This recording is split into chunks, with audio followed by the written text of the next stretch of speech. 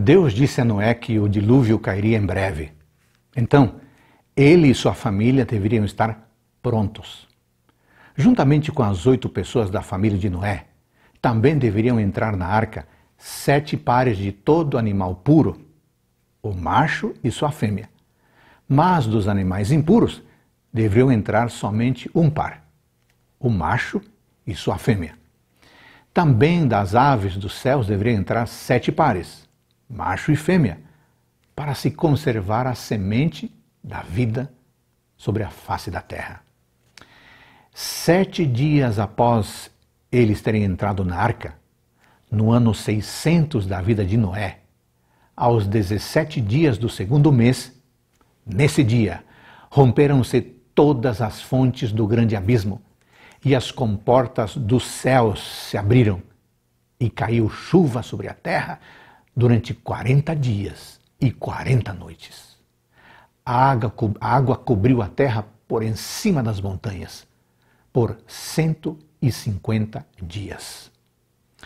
O dilúvio, amigos, foi assustador. Algumas pessoas, em seu desespero, esforçavam-se por entrar na arca.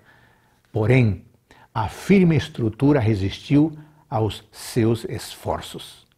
Alguns apegaram-se à arca até que foram arrastados pelas águas violentas ou foram jogados para longe pela colisão da arca com as rochas e as árvores.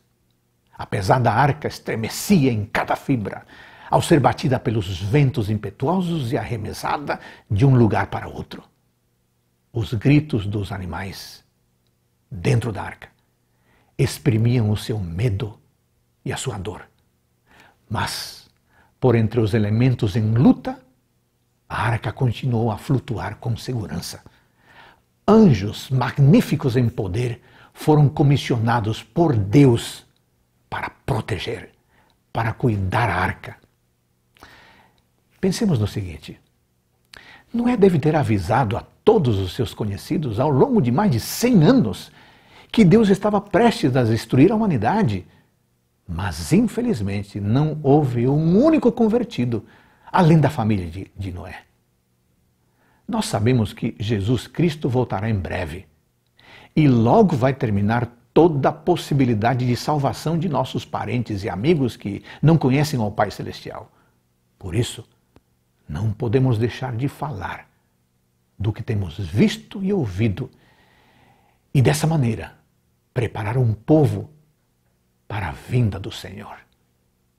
Além disso, amigos, eu gostaria de refletir num outro ponto, no seguinte: quando os raciocínios da filosofia houverem banido o temor dos juízos de Deus, quando ensinadores religiosos estiverem a apontar no futuro para longas eras de paz e prosperidade, e o mundo estiver concentrado em sua rotina de negócios, de prazeres, plantando, construindo, banqueteando-se e divertindo-se, rejeitando as advertências de Deus e zombando de suas mensagens e de seus mensageiros, então então é que súbita destruição lhes sobrevirá e não escaparão.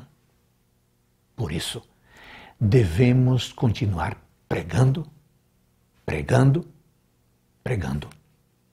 Esse é o nosso dever. Que Deus abençoe você.